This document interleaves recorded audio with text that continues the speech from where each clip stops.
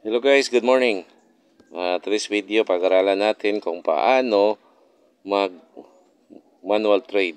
Dito pala tayo sa ating live account. Doon tayo gagawa ng ano, manual trade sa demo account. Assuming na ano to, real account. Pero dito tayo sa demo ha. Baka mali yung place ng order natin. Dito sa demo ko, tingnan natin. Oh, may profit ako. 0.21 lang nilagay ko Profit sana, 276, no? Ganyan katindi yung Forex, guys. Kahapon na trade lang yan. Pwede natin kitain kaso malaki talagang risgo. Halimbawa, nag-against sa atin yung favor ng market. Nag-place tayo ng buy tapos bumagsak. Yun lang ang mahirap. Hindi natin alam ang galaw ng market. Pero sa mga gusto mag-manual trade, sundan nyo lang yung signal na ibigay nat ang ibinato sa atin. Ganito lang kasimple yan punta kayo sa chart or punta kayo sa coach. Halimbawa, nag-signal ngayon si ano, ng sabi niya, use the EUDCHF. Click nyo tong EUDCHF sa baba. Tapos, lagay nyo muna chart. Dito nakikita nyo na ang chart. Dito sa itaas, oh, tingnan nyo dito, bandang dito. UDCHF, naka 1 minute yung time frame natin. Tapos, paano maglagay ng order? Ganito lang yon. Double check ko muna ha, kung di mo ba talaga to. Mahirap na, di mo talaga. O sige, tulad kagabi, ang sabi, UDCHF, place ng order. Tingnan yung orasan sa taas, kung tama na ba yung oras. Halimbawa, 10.04. O dito, click nyo yan ng plus. Ito na yon. Tapos, paano maglagay ng lot size? Ito yung lot size. Ang lot size, kung ilan yung capital mo, halimbawa 110, i-divide mo yan sa 850, yun ang magiging lot size dito sa ESG. Depende sa broker yan. Pero dito sa ESG, ganun yung computation. Capital divided by uh, divided by 850. Uh, sige. Tapos, halimbawa, 100, 850. Nasa ano lang yan, nasa mga sabihin natin 12. Dito mag paano maglagay ng i-increase yung lot size. Pwede dito rin i-decrease itong may negative sa left side. Diba nakita nyo sa gitna? Ito yung lot size. Tapos, kung gusto niyo mas madali ito, gawin niyo itong plus na dito sa malayo. Tapos plus 1. Dito, plus ano yan, plus 10 yan. 0.10 na yung additional kada click mo. Tapos ito 0.10 din ang ka deduct kada click mo. Ito kung gusto mo dahan-dahanin dito lang. Pwede mo rin ilagay diretso.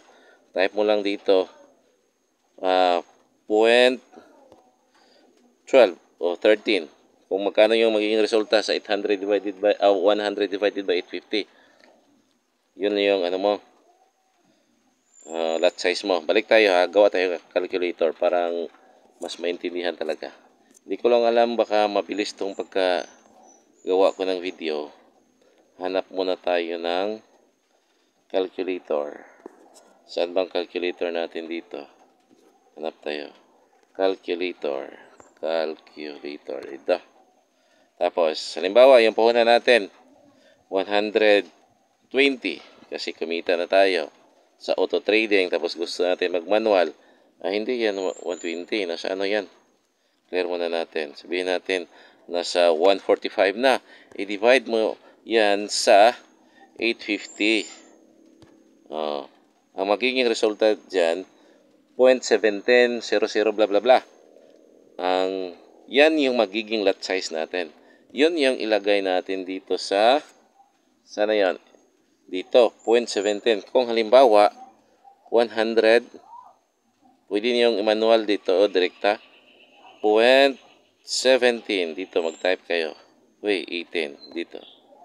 Click niyo yung dito sa gitna. Pwede rin uh, magdahan-dahan kayo dito. Pwede rin minus dito. Pagka oras na talaga, dapat nakahanda na kayo bago ang oras para hindi kayo madelay. Tapos, uh, ang gawin dyan, sana tayo? Point 17. Oh. click niyo ang pag ang sabi niya ay sell tulad kag- kagabi, sell. Click niyo yan ang sell. Yun na yun. Oh. Accept. Mm. Yun, na-place na natin yung order. Hantayin natin yung ah, ilang minuto. 5 minutes. Pero fast forward na tayo. Assuming na natapos na yung 5 minutes. Paano mag-close? Dapat i-close mo yun. Kaya kung, hindi mo yan i-close, assuming na nag-profit na tayo. Hindi tayo mag-profit nito eh. O, tingnan mo, nakasell tayo. Tapos pababa siya eh. O, pataas. Assuming natapos na yung trade, paano mag-close? Click nyo lang ang ano, dito, ito mismo click nyo. Nakita niyo? I-click nyo mismo dyan yung UDCHF mismo or dito sa tapat niya. Pagka-click nyo dyan, long press nyo. Lumabas dyan sa baba, close position, modify position, new order chart. Sa ngayon, ito muna ang ano, pagpraktisa natin, i-close yung position. Ganito lang yon. Click nyo dito yung close position. Tapos, kailangan pa niya ng confirmation. Close with loss. Pero sa atin, sure na profit yon. Close with profit. Nakalagay dyan sa baba. Close mo yan. Ayan. Accept. Hmm. Tingnan nyo. Oh, history natin. Di ba? May talo na tayo kasi talo yung ano natin eh. Oh, ulit. Try tayo ulit ng ano. Paano mag-place ng order. Punta tayo sa codes. Halimbawa, ang binigay na signal hindi UDCHF. Paano natin baguhin? Dito tayo sa codes. Click dito sa baba. Oh, ito. Kita niyo sa baba. Codes. Ito, codes. Tapos, sabihin natin ang signal Euro USD na naman. Tapos, click natin yung new order. Magkano yung lot size? Naglaki, lumaki na yung lot, ano mo, capital mo. Baka 80 ang lot size natin. Just click mo lang yon Tapos, hintayin natin yung tamang oras. Kung anong oras dapat i-place ng order. Kasi iba-ibang oras yon di ba? Kung anong nilag sinabi doon. Halimbawa, buy sa alas ganun na oras. Hintayin natin. Pagdating ng oras, naka-ready na yung cellphone natin, pwede i-click natin, sabihin natin ang signal nila ay buy. Click niyo yung buy. Accept. Tapos, ano naman, hintay naman tayo ng 5 minutes na mag-profit. Uy, ito, parang mag-profit itong ano natin ha. Tingnan natin yung chart. Oh. Hintayin natin yung 5 minutes. Halimbawa, natapos na yung 5 minutes para matuto kayong mag-close. Para hindi rin tumaas ang video na to. Click nyo rin din dito, banda, tapat, di, oh, banda, dito tapat, oh, saan ba, paano ba ito sabihin? Dito, oh, basta dito sa may Euro USD, dito banda, yan, click nyo yan. Pagka-click nyo dyan, long press nyo. Oh, ito, long press nyo. Pagka long press nyo dyan, sa tapat ng Euro USD, o kahit mismo Euro USD long press nyo, meron na tayong profit, pwede na tayong mag-close. Ganon lang kadali, oh. Tapos, close with profit. Kailangan niyang confirmation. May profit tayo ha. Assuming na natapos na yung 5 minutes ha. Huwag niyong i-close kung hindi natapos yung 5 minutes. Or kahit 4 minutes lang. Kung sa tingin niyo satisfied na kayo sa profit, pwede na rin yung i-close. Oh, click niyo yung close profit. Done. Tingnan natin. Ano nangyari? Oh, dito may profit tayo $1.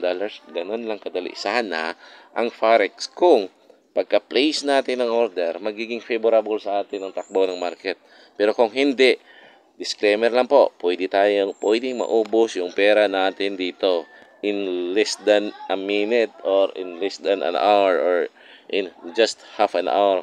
Pwedeng magiging times to yung pera natin, pwede rin mauubos. Ganon kadelikado ang Forex. Kaya, wag basta-basta mag-place ng order kung hindi sigurado o hindi reliable yung signal provider natin o hindi ka pa marunong mag-analyze sa market. Sa totoo lang, sa 4 years ko hanggang ngayon, hindi pa rin ako marunong, hindi pa rin ako makatama sa ano mag-analyze ng market.